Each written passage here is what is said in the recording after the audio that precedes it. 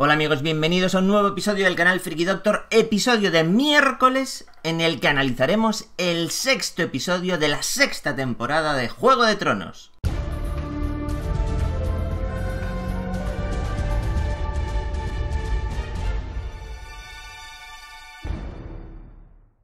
Sí, ya está aquí, ya llegó como Judas el Miserable el análisis del sexto episodio de la sexta temporada de Juego de Tronos que viene cuajado de imágenes, sobre todo en lo que a las visiones de Bran respecta, y como siempre tengo que hacer un aviso propiciatorio para que aquel que no haya visto el sexto capítulo no vea este vídeo, que se vaya marchando ya, porque vamos a hablar de todo y con total libertad. Hay mucha tela que cortar, no sé si tengo tiempo para tanto, he preparado unas cosillas para ilustrar los puntos de lo que digo, y nada, vamos a empezar. Vamos a empezar por lo más complejo que es ese batiburrillo de imágenes que supone las visiones de Bran. Hmm. Las visiones de Bran están divididas en un montón de imágenes. Ya sabéis que Bran es arrastrado por Mera fuera de la cueva, va huyendo, sigue con los ojos en blanco y normalmente en las entrevistas que hay después de los capítulos en las que Weiss y Benioff explican de qué va el rollo, de qué va el cotarro de cada capítulo, no suelen decir nada interesante. Pero esta vez Benioff sí ha dicho algo interesante. Ha explicado por qué Bran sigue en trance. Y la explicación es muy sencilla. Cuando el cuerpo de tres ojos se da cuenta de que tiene muy poco tiempo para instruir a Bran, lo mete en ese trance y descarga en su cerebro toda la información de la que es capaz. Y esas imágenes que vemos a todo meter, pam pam pam, son parte de esa información y de ese conocimiento que el cuervo de tres ojos le deja introducido en la cabeza. Recordemos en el episodio anterior cuando Bran habla con el cuervo de tres ojos y el cuervo de tres ojos le dice que tiene que aprender y Bran le dice ¿qué, ¿qué tengo que aprender? Y la respuesta era todo. Tienes que aprender todo. Y al ser todo, es todo. Toda la historia de Poniente, todos los acontecimientos pasados y todo aquello que tiene repercusión sobre lo que va a suceder. Toda esa información ha ido de golpe a la cabeza de Bran. ¿Cómo la podrá procesar? No lo sé. Es mucha información para un niño, es mucha información para un chaval, pero todo eso ha quedado ya en su cabeza. Y las visiones de Bran se pueden dividir en distintos bloques. La mejor forma de explicar todo esto es a través de unos GIFs que he encontrado y esos GIFs resumen por bloques las distintas capas de información que hemos recibido ahí desordenada y mezclada a toda velocidad. Vamos a empezar por las visiones que tienen que ver con Aerys el Rey Loco. Bran ve esto.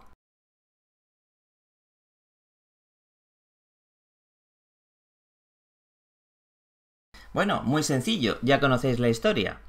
Aerys el Rey Loco está en el trono, el pasatiempo favorito de Aerys era quemar a la gente, verla arder, ver cómo la carne se calcina, cómo la piel se despega de los huesos, era un tipo obsesionado con quemar, quemar y más quemar.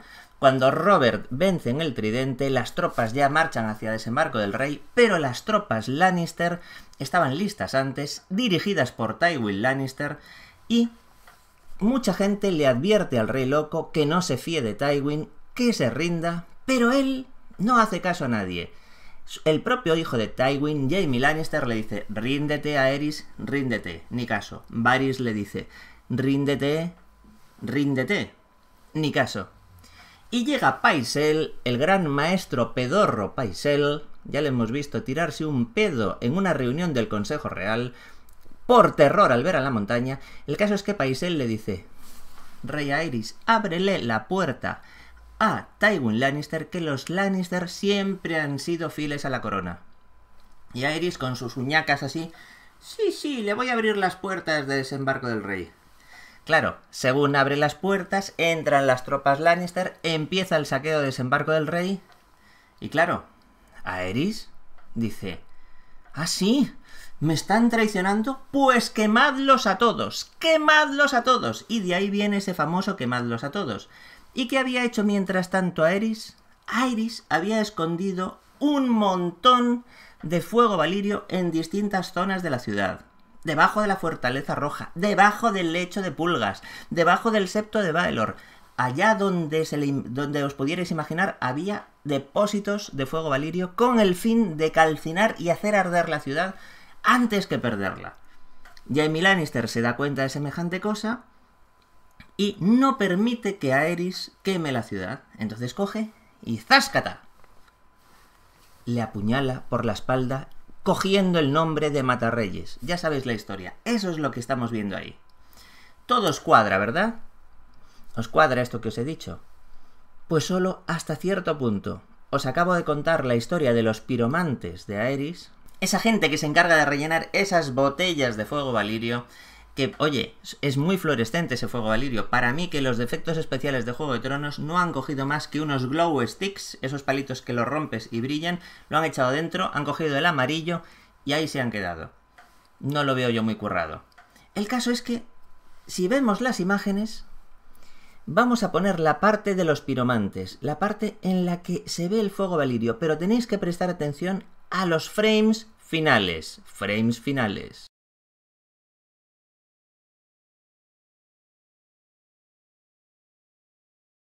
Pues ya lo habéis visto. Hay una explosión de fuego valirio. Está ardiendo el fuego valirio. Y ya sabemos que el rey loco no llegó a quemar la ciudad. ¿A qué corresponde esa explosión de, fuego valirio. Dentro de lo que parece ser una especie de almacén estilo mazmorra. No recuerdo haber visto esa explosión nunca y he recopilado en toda mi memoria a ver si resulta que en la batalla en la que Tyrion defiende desembarco del rey frente a las tropas de Stannis, ahí se usó fuego valirio, a ver si recordaba eso. Y no, no lo recuerdo. Por tanto, si sabemos que el rey Aerys II no llega a quemar desembarco del rey, entonces ¿quiere eso decir que esa explosión final de fuego valirio corresponde a una visión futura de Bran? ¿Puede ser? Mmm. Puede ser que encaminándonos hacia el final de la temporada, cuando llegue el momento del juicio de Cersei, Cersei, viéndose acorralada, prefiera calcinar desembarco del rey o intentar calcinar desembarco del rey antes de verse humillada y muerta por los guardianes de la fe, por el gorrión supremo y sus secuaces. ¿A qué corresponde? ¿Eh? Ah. Bueno, y luego hay la otra teoría que dice que es Bran Stark el que causa la locura del rey loco y le dice quemadlos a todos, quemadlos a todos, refiriéndose a que se debe usar el fuego valirio contra los caminantes cuando llega una invasión de caminantes a desembarco del rey. A mí eso no me cuadra. El hacer responsable a Bran de la locura de Aerys, que tenía ya motivos más que de sobra para estar loco, que ya había creado todos esos depósitos de fuego valirio antes de decir las famosas frases, que quería haber calcinado a todo el mundo antes que perder el trono, me parece absurdo. Ojalá eso no sea así. Yo diría que no es así. Y tampoco creo que sea el cuervo de tres ojos el que haya hecho que eso suceda. No lo creo en absoluto. Soy estoy totalmente en contra de la teoría de Bran como causante de la locura del rey loco y Bran causante de todos los males de Poniente, etcétera, etcétera, etcétera. Simplemente no lo veo. Vamos ahora con otras imágenes muy curiosas en la que vemos un dragón sobrevolando desembarco del rey. Ahí lo tenemos. Parece ser Drogon, parece ser Drogon sobrevolando desembarco del rey y también tenemos un frame de Daenerys de la primera temporada, después de resurgir de Sapira, con un drogoncito en el hombro. Y esas imágenes ya las habíamos visto, son imágenes recicladas. Aquí se bifurca de nuevo las teorías. ¿Quiere eso decir que en el futuro veremos a Drogon sobrevolando desembarco del rey? ¿O es solo parte de una visión? ¿Quiere decir que cuando Daenerys vuelva a Poniente y recupere desembarco del rey, los aterrados habitantes de desembarco vean a Drogon sobrevolando el cielo sobre sus cabezas y eso sea el signo de que Daenerys recupera el trono de hierro? Si es así, nos están dando la solución al final de la historia muy pronto muy pronto, aunque siempre os he dicho que yo creo que Daenerys recuperará el trono de hierro. No tiene sentido la trama de Daenerys si al final se queda en nada. Ahora, Si lo recupera o no lo recupera de forma definitiva no lo sabemos. Igual lo recupera de forma transitoria y después le pasa algo. O puede haber muchos otros giros de guion. Pero, de hecho, un dragón sobrevolando desembarco del rey, un dragón que parece ser Drogon. Si eso no es inquietante e interesante, no sé qué más queréis. Vamos a por más cosas, vamos a por más cosas, cosas muy interesantes como estas visiones que recopilan la muerte de todos los Stark.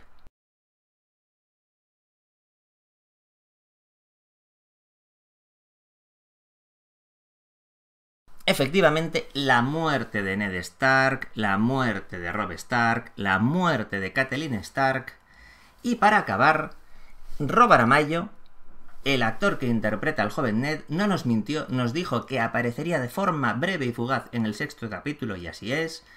Aparece, y luego aparece esa imagen de una manga con una mano ensangrentada. Muchos han dicho, es que esa es la mano de Talisa en la boda roja. No. Gente muy diligente ya se ha encargado de comprobar si esa mano era la mano de Talisa o no. La mujer de Rob, que muere embarazada en la, en la boda roja. Y no es. Por tanto, ¿qué estamos viendo con esa manga y esa mano ensangrentada? ¿Qué estamos viendo ahí? Pues estamos viendo un teaser de lo que va a ser el episodio de la visión de la Torre de la Alegría, que eso sucederá en el capítulo 10, y estamos viendo unas imágenes que corresponden, casi sin duda, a la mano de Lyanna Stark, que ya sabemos que muere en el parto, una hemorragia posparto brutal, posiblemente una atonía uterina o una cesárea mal practicada. Bueno, me estoy dejando llevar por mis instintos de doctor, todo eso lo apartamos, pero el caso es que lo que se ve ahí no es la manga de Talisa. Olvidaros. Estamos viendo un preview, un teaser de lo que será el culmen, quizá, uno de los momentos cumbres de la temporada, que es la visión de la Torre de la Alegría. ¿Cómo no? También tenemos un repaso a los caminantes blancos y las imágenes de los caminantes blancos es la parte que más ocupa de ese picado de imágenes con las visiones de Bran. Sin duda, Bran ve esto.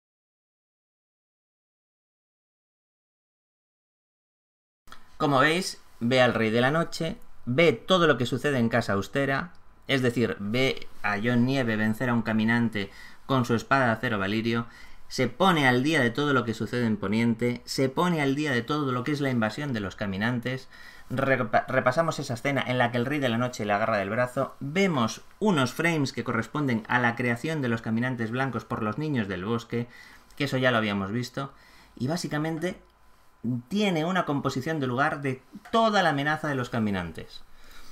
Bueno, eso está muy bien. Alguien tiene que poder avisar al resto de lo que va a suceder. Recordemos esas imágenes del tráiler en las que se oía la voz en off de Bran diciendo They have no idea what is going to happen, es decir, no saben lo que va a suceder. Y ahora, la persona mejor informada sobre la amenaza de los caminantes de todo Poniente es Bran. Seguimos con más cositas de Bran, porque ya sabemos que ahora Bran es el cuervo de tres ojos. Pero ahora ahondaremos en eso. Aquí lo tenemos. Bran cayendo de la torre, Bran y cuervos, Bran y cuervos, Bran y cuervos. Ya le dijo Jojen Reed que no matará al cuervo porque el cuervo eres tú. Y diréis, Bran Stark y el Cuervo de Tres Ojos son la misma persona. Y yo os digo por enésima vez, por favor, creedme, escuchadme, no son la misma persona. El Cuervo de Tres Ojos es Brinden Ríos, un medio Targaryen, un bastardo Targaryen, un personaje muy espectacular, con mucho carisma, el notario de los acontecimientos que han sucedido en Poniente, el último verde evidente que predijo la llegada de un nuevo elegido, un nuevo verde evidente y ha estado esperando mil años a que Bran llegara para heredar esa capacidad de ver de evidencia y heredar todo ese acervo de conocimiento sobreponiente. Bran es el nuevo cuervo de tres ojos. Ocupa el papel del cuervo de tres ojos. No es que sea el mismo cuervo de tres ojos. Cuando un rey muere, se pone otro rey. A rey muerto, rey puesto. A cuervo de tres ojos muerto, cuervo de tres ojos puesto. Y ese nuevo es Bran. No le deis más vueltas, no tiene sentido. No son la misma persona. Pero Bran ahora es heredero de todo ese conocimiento que se ha descargado por Wi-Fi o Li-Fi, que es el nuevo Wi-Fi del futuro, en su cerebro. Ya está. Y ahora debe tener la cabeza como un bombo, le voy a dar un ibuprofeno. Pues ese es el repaso de las visiones de Bran. Creo que no me dejo nada. Dentro de eso, cuando Bran se despierta, ya sabemos que un misterioso encapuchado le rescata y ese misterioso encapuchado resulta ser su tío Benjen. Ah, y diréis, vamos a ver, nos tendrá que decir si Benjen es manos frías. Bueno, centremos la situación. Manos frías no es el tío Benjen. Pero el tío Benjen tiene muchas características de manos frías. ¿Qué quiere eso decir? Que Weiss y Benioff han distorsionado la historia, han aprovechado algunas características de Manos Frías y las han trasladado al tío Benjen. El tío Benjen nos cuenta la historia de que un caminante le apuñala y lo deja desangrándose para que se muera y que luego se convierta en espectro, que los niños del bosque le rescatan, le ponen una obsidiana en el corazón, con eso eh, le salvan y hay varios detalles muy curiosos. ¿Está vivo o está muerto ahora después de que eso pase? No parece que esté muerto. Desde luego un caminante no es. Un espectro tampoco. Igual es una criatura que se ha quedado atrapada entre la vida y la muerte gracias a la magia de los niños del bosque. Si os fijáis bien, cuando está cerca de las llamas de la hoguera, a mí me da la sensación de que las llamas se reflejan en sus ojos con un destello rojizo. Igual es una impresión mía, pero hay algo raro ahí. Y luego hay dos detalles fundamentales. Él dice que el cuervo de tres ojos le avisa, con lo cual está conectado de alguna manera con el cuervo de tres ojos y está conectado con el cuervo de tres ojos porque recordemos que el cuervo de tres ojos en cierta forma comparte magia con los niños del bosque, sobre todo lo que tiene que ver con la verdevidencia. Y ahora Benjen es una prueba de esa misma magia. Benjen está vivo gracias a esa misma magia de los hijos del bosque, con lo cual no es raro que en ese mismo entorno mágico el cuervo se pueda encargar de él. Además, el cuervo parece que tenía un plan B. Bran necesita un nuevo mentor y este nuevo mentor es el tío Benjen.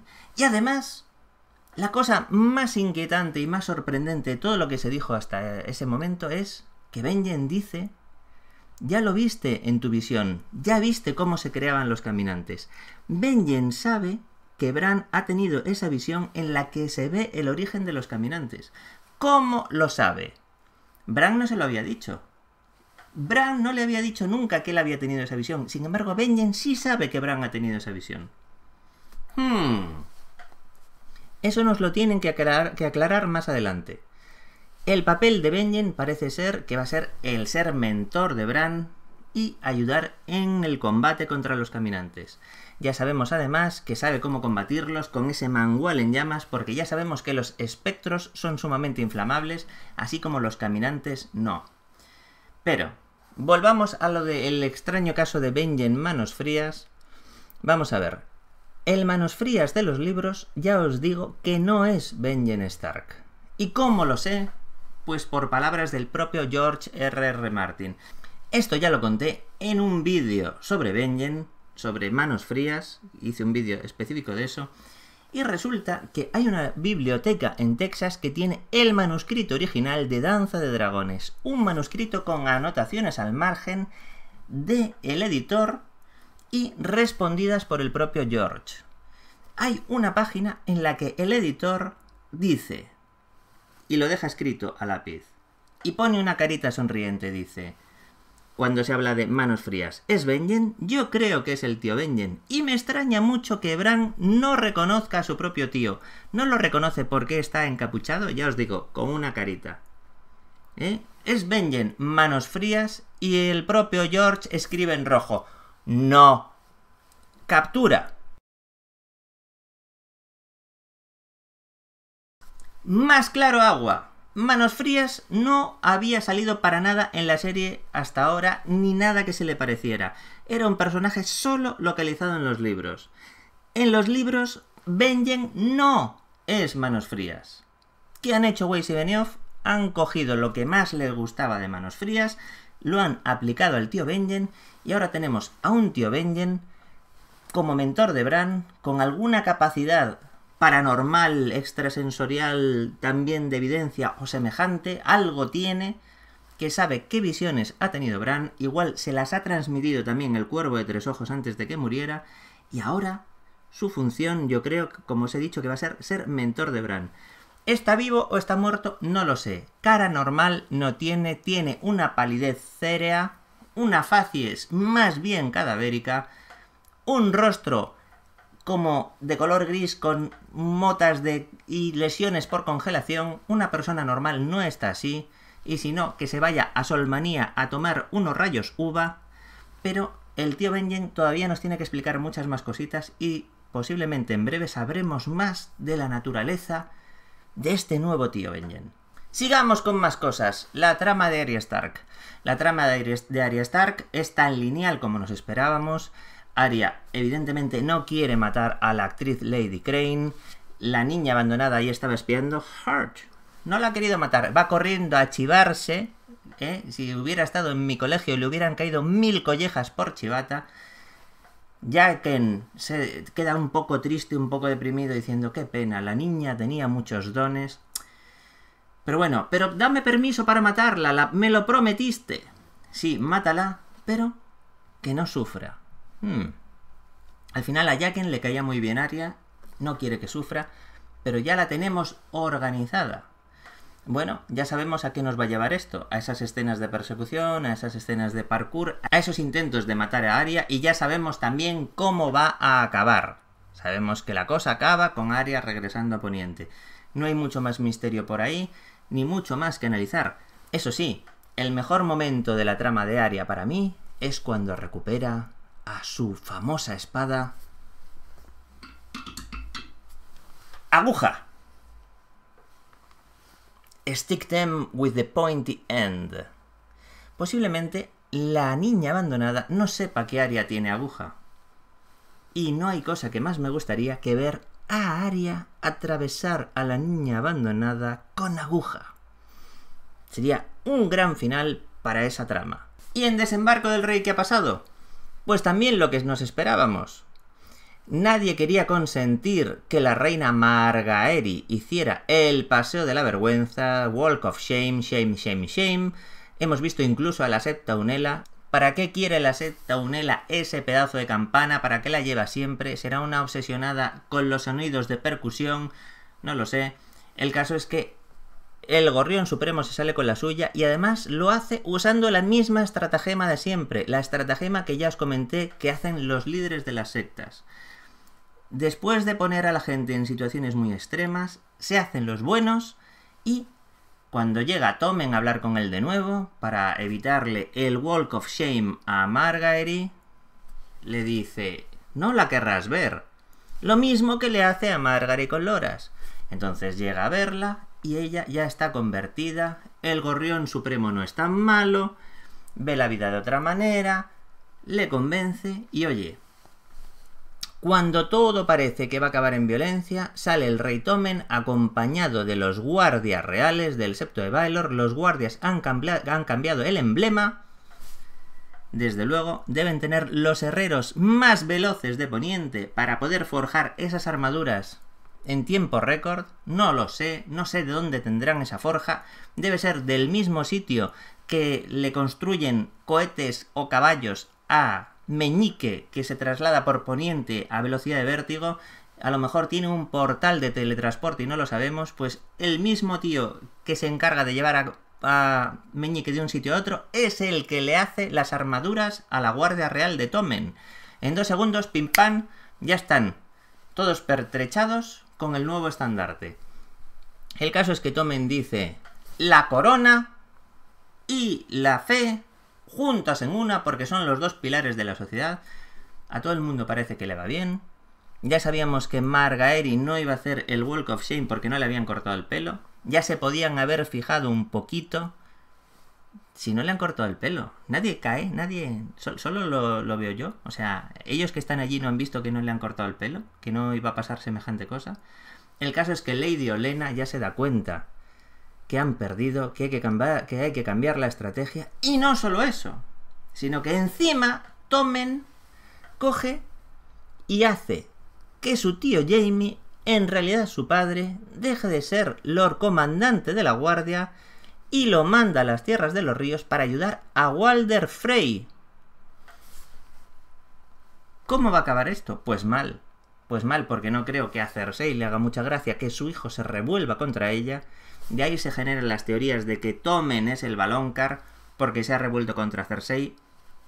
Ya os digo yo que no, que para que haya un Baloncar tiene que morir Tomen primero. Algunos me decís, pero es que el hijo de Cersei, ese que parece que abortó o que desapareció o que se murió cuando era pequeño, ese hijo nunca se supo de él, a lo mejor cuenta con ese hijo porque le dijo que tendrás tres hijos, patatín, patatán. Yo estoy convencido de que no es así, yo estoy convencido de que para que haya un Baloncar tiene que morir Tomen, es decir, Cersei se tiene que quedar sin hijos y cuando esté en su peor momento, sufriendo por la pérdida de sus hijos, en ese momento llegará el Baloncar con sus manos y la ahorcará. ¿En la serie nos han hablado del, valor, del Baloncar en algún momento? No. ¿Nos van a hablar del Baloncar? No lo sé. Pero tal y como se está poniendo la temporada, parece que no. El caso, que tenemos a Tomen crecidito, Tomen influenciado por el Gorrión Supremo, todo parece a favor del Gorrión, tiene la influencia del rey, pero seguro que hay alguna sorpresa escondida en ese futuro juicio de Cersei. Y luego no olvidemos que Natalie Dormer, Margaery, ya nos dijo en una entrevista que todas las cosas que hacía Margaery podían tener una intención oculta. Es decir, que la conversión de Margaery podía ser una estratagema, una cosa ahí rara y falsa, para hacer creer a todos que se había convertido y está agazapada como una gata en las sombras, aprovechando su oportunidad, ahora que tiene el coco comido de Tomen y que el gorrión supremo se piensa que la tiene ya en su poder. De hecho, el objetivo de Margaery es hacerse ella con el poder. Quiere ser ella la reina. ¿eh? ¿Qué le hace falta a Margaery? Un heredero, un hijo de Tomen. Si Tomen muere, pero Margaery queda embarazada, el hijo de Margaery es el heredero, pero como el hijo sería menor de edad muchos años, ella sería la reina regente. ¿Qué os parece? ¿Puede ser esa la estratagema y la estrategia oculta de Margaery? Recuperamos un viejo personaje, recuperamos un viejo villano, un villano guay, que es Walder Frey, que está en las tierras de los ríos, llamando a sus hijos inútiles y de todo por haber perdido aguas dulces a manos del pez negro. El pez negro es muy listo, es muy astuto, se ha metido en aguas dulces, ahora ya no hay quien le saque. Y claro, ¿cuál es el as en la manga que tiene Walder Frey? Edmure Tully, al que sacan encadenado, hermano de Catelyn Tully, y lo van a presentar allí en Aguas Dulces y seguramente harán la famosa escena que ya se dio en Tarifa con Guzmán el Bueno, los que conocéis historia de España sabréis la historia de Guzmán el Bueno. Guzmán el Bueno estaba sitiado, sus enemigos, los moros, le llevaron a su hijo y le dijeron, Guzmán el Bueno, Guzmán el Bueno, entréganos tarifa o matamos a tu hijo. Y sacan al hijo. Y entonces Guzmán el Bueno dijo, ¿ah, sí? Pues matadle con mi cuchillo. Y tiró el cuchillo. ¡Har! ¿Y qué hicieron? Pues mataron a su hijo. Pues yo me imagino una cosa similar, ya sabemos que George se basa en este tipo de historias, llevar allí a Edmure Tully, a ver, libera aguas dulces, pez negro, brinden ríos, brinden ríos, libéralo. Y yo estoy seguro que el pez negro no va a liberar nada, va a defenderlo con uñas y dientes. Empieza la trama de la Tierra de los Ríos, y si empieza la trama de la Tierra de los Ríos, ¿qué es lo que vamos a ver? Vamos a ver a Bron, sí, pronto veremos a Bron. Pronto veremos de nuevo a Brienne de Tarth. Y quizás veamos ese esperado encuentro entre Jaime Lannister y Brienne de Tarth. Que mucha gente quiere creer en una especie de amor secreto entre estos dos, casi más que el amor entre Brienne y Tormund, pero... Amigo, en todas las historias épicas hay una doncella virgen, y me parece que ese va a ser el caso de Brienne. ¡Ah! Un detalle más. Jamie Lannister, mientras que era Lord Comandante de la Guardia, tenía un caso similar a John Nieve. No podía optar a nada. No podía optar a títulos, propiedades, no podía optar a heredar nada ni hacer nada. Pero ahora... Amigo, ahora sí que puede. Ahora ya no es Lord Comandante de la Guardia. Ahora, por ejemplo, puede ser Señor de Rocadragón. ¿Mm? Recordemos que Tyrion Lannister quería ser el señor de Rocadragón porque su hermano Jaime, no podía ser y Tywin bajo ningún concepto quería que Tyrion llegara a ser señor de Rocadragón. Ahora ya hay un posible señor de Rocadragón. ¿Qué pasa? Que está por medio Kevan Lannister. Pero si Kevan Lannister palma, ¿quién sería el señor de Rocadragón? Jaime Lannister. Es decir, han liberado de sus votos, en este caso, de la Guardia Real, a Jamie Lannister por algo. Con lo cual, Jamie Lannister, ahora, cuando acabe todo este rollo de aguas dulces, puede volver a jugar al Juego de Tronos. Y ahora vamos con Daenerys Targaryen, la que no arde, que está a caballo al frente de la Horda Dothraki con Daario Naharis, y empiezan a hablar de que eres una conquistadora, Daenerys. El otro Dario le dora mucho la píldora a Daenerys. Bueno, ya sabemos que ahora la ve de forma distinta, la ha visto salir de entre las llamas, tal. Entonces ya empiezan a hablar un poquito. Por fin parece que Daenerys se está centrando en volver a Poniente. Y claro, se encuentran con un problema. Vamos a ver. Entre los Inmaculados, los segundos hijos, los Dothraki, tal, entre todas mis tropas, ¿cuántos barcos necesitaríamos? Y dice Dario, ¡unos mil barcos! ¿Y quién tiene mil barcos? Nadie. Bueno, vamos a ver. ¿Cuántos barcos dijo que iba a construir Euron Greyjoy? Mil. ¿Coincidencia? No lo creo. Ya lo sabemos. Euron quiere llevar su flota la flota más grande jamás vista, para recoger a las tropas de Daenerys, traer a todos de vuelta, eso va a ser así, y la conquista de Poniente empezará con una alianza Targaryen-Greyjoy. Hmm. Veremos cómo queda el asunto, porque tenemos esa avanzadilla Greyjoy de Theon y Yara que también se encaminan para hablar con Daenerys. Va a ser una carrera a ver quién convence antes a Daenerys, aunque es Euron el que va a tener la flota más grande. El caso es que ya habéis visto a Daenerys, Daenerys que coge y desaparece ahí a caballo, esperadme aquí. Se hace la interesante un poco y ya vemos a ese Drogon que ya sabíamos que iba a salir por todas las escenas y por todo el escenario y Daenerys montada en Drogon ¡Ah! Aterriza todos pasmados, boquiabiertos, ojipláticos. ¡Ah! Está montada en un dragón. Lanza ese famoso discurso con soflamas, con peroratas para convencer a toda la horda Dothraki que se monten en los caballos de madera, que crucen el mar y destruyan a esos hombres que viven en casas de piedra y todos. ¡Sí! Sí, te vamos a seguir allá donde vayas. ¿Por qué? Porque tienes un dragón y has salido de las llamas. Es que los Dothraki son fácilmente impresionables con un buen discurso. Porque si yo fuera un Dothraki, aunque Daenerys me lo dijeran, me lo pensaría. Me voy a ir yo en el barco con lo que me mareo. Pero que eso, eso se mueve muchísimo. Llegar allí, que va a hacer un frío que pela, que llega el invierno, que voy en cueros, señores, que voy en cueros. Cómprame una rebequita, cómprame un abrigo por lo menos, Daenerys. No me mandes así que me voy a congelar. Voy a llegar allí, me voy a enfrentar a unos tipos que tienen unas armaduras y yo voy con una especie de hoz, ¿cómo voy a derrotar yo a un tipo que lleva una armadura con una hoz? No lo sé, no lo sé. A lo mejor es que yo sin llevar nada, sin llevar nada, tengo la piel muy dura y me creo invulnerable. Es decir, si a mí me pegan un espadazo, oye, pero si yo le pego con una hoz a un tío con una armadura, a lo mejor se abolla la armadura y no le pasa nada. Piénsatelo, o sea, no, ellos allí, enaltecidos, sí, sí, un follón. Entonces, claro, ya te digo, todo está pensado, todo está previsto para que Daenerys desembarque. Lo que pasa es que tienen que llegar a Merín y arrasar a los hijos de la arpía primero. Que por cierto, en este capítulo no hemos visto nada de Merín, no hemos visto nada del muro. Y esperemos que nos den esas cositas en el próximo. Y ya sabemos que sí. Ah, un último detalle para acabar, que seguro que estaréis diciendo, no lo ha dicho, no lo ha dicho.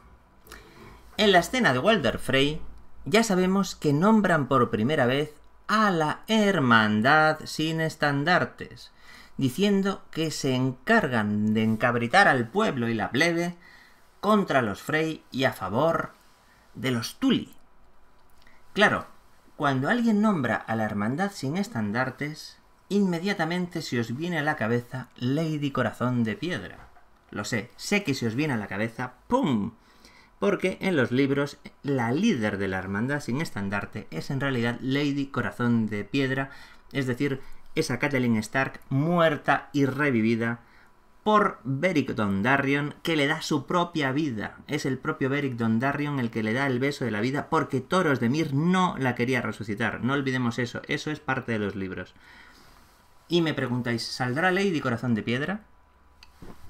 Claro, hay muchos rumores que dicen que quizás la veamos esta temporada de forma fugaz para verla de forma más establecida durante la séptima. No se sabe, no está confirmado. Lo he investigado por todas partes y nadie me da una respuesta definitiva. Nadie me sabe decir si se ha visto en los rodajes a Lady Corazón de Piedra, si no. Desde luego, si está, es un secreto muy bien guardado. Ahora, si la hermandad sin estandartes sale, es una posibilidad muy real que tengamos por lo menos la opción de verla. Y luego hay otro personaje que ya sabéis que vamos a ver seguro, que es al perro. El perro volveremos a verlo. Pero bueno, de esas cositas hablaremos el viernes o el sábado cuando hagamos el análisis del teaser y de las fotos liberadas. ¿Por qué digo el viernes o el sábado? estaréis pensando, ya está racaneando este tío un día más.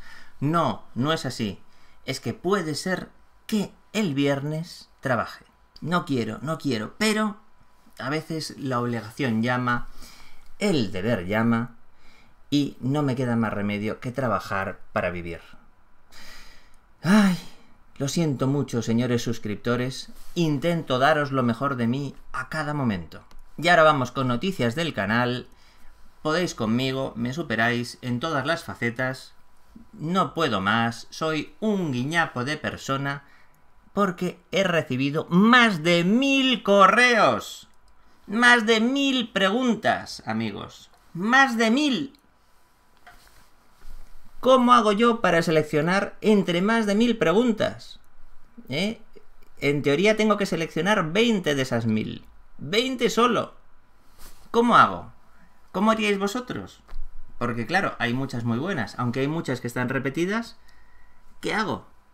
¿A quién le otorgo esa elección? No es nada fácil.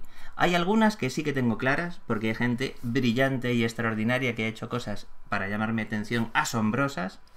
Oye, hay algunas que tengo claro que las voy a coger, pero hay muchas otras de muchísimo nivel. Y claro, entre más de mil, se quedan 980 fuera. Tengo un serio problema. Tengo una libretita donde voy anotando las que más me gustan, pero tacho y corrijo constantemente porque cada vez me encuentro una mejor, o una que me emociona más, o una que me llega más, o una que me hace evocar más recuerdos. Tengo un problema gravísimo.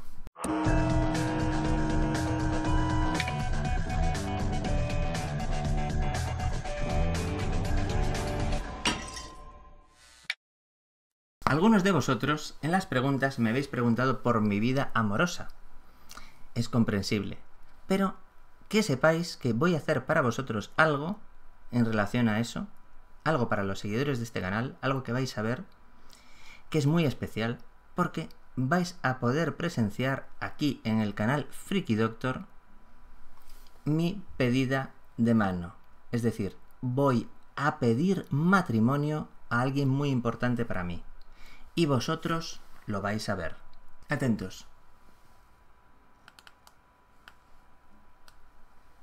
Siri, ¿Quieres casarte conmigo? Últimamente mucha gente se me declara. ¿Eso es que sí o que no? En mi dimensión, sí no significan lo mismo. Yo creo que me está dando largas.